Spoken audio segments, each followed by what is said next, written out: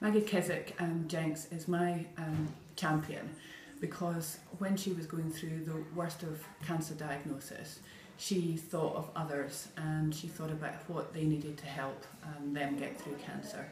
And that resulted in this extraordinary organisation called Maggie's that has 21 support centres across the UK. That's why she's my champion.